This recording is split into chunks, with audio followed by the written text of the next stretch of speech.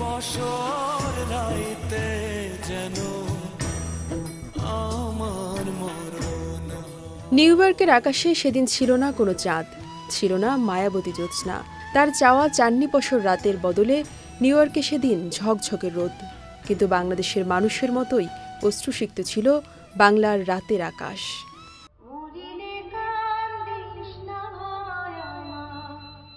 দু হাজার বারো সালের উনিশে জুলাই নিউ হাসপাতালে শেষ নিঃশ্বাস ত্যাগ করেন নন্দিত কথাসাহিত্যিক হুমায়ুন আহমেদ। চব্বিশে জুলাই চিরনিদ্রায় শাহিত হন তার নিজ হাতে গড়া গাজীপুরের নুহাসপল্লীর লিচুতলায়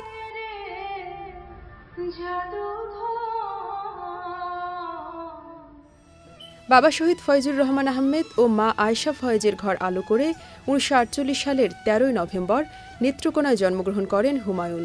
পড়াশোনা করেছেন ঢাকা বিশ্ববিদ্যালয় ও যুক্তরাষ্ট্রের নর্থ ডাকোটা স্টেট ইউনিভার্সিটিতে। রসায়ন শাস্ত্রের শিক্ষক হিসেবে দীর্ঘদিন অধ্যাপনা করেছেন ঢাকা বিশ্ববিদ্যালয়ে। কালজয়ী উপন্যাস নন্দিত নরকে ও শঙ্খনীল কারাগারের মধ্য দিয়ে বাংলা সাহিত্যে শক্তিশালী এক কথা সাহিত্যিকের আগমনী জানিয়েছিলেন তিনি।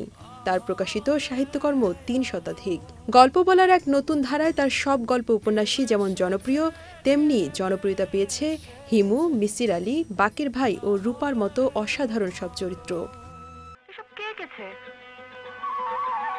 উনি ফিরে আসায় তোমার খুব ভালো লাগছে। তাই না আপা?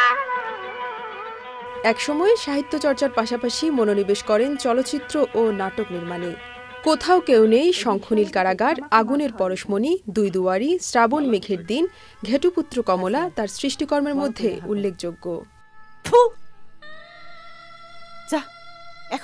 দু সালে যখন ক্যান্সার ধরা পড়ে তখনও কেউ দ্রুততম কল্পনাতেও ভাবেনি এত দ্রুত ফুরিয়ে যাবে তার জীবন। যদি মন কাঁদে বাংলা সাহিত্যের পাঠকদের মনে যেমন তেমনি নুহাসপল্লীর প্রতিটি গাছ ফুল পাখি ঘাসের সঙ্গে মিশে আছেন হুমায়ুন আহমেদ। ষষ্ঠ মৃত্যুবার্ষিকীতে নুহাসপল্লীতে নানা আয়োজনে হুমায়ুনকে স্মরণ করছে ভক্ত অনুরাগী সহ ঝড়ো গভীর শ্রদ্ধায় তাকে স্মরণ করছে চ্যানেলাই পরিবার যে পরিবারের তিনিও ছিলেন একজন। লাইলা নৌসিন চ্যানেলাই ঢাকা।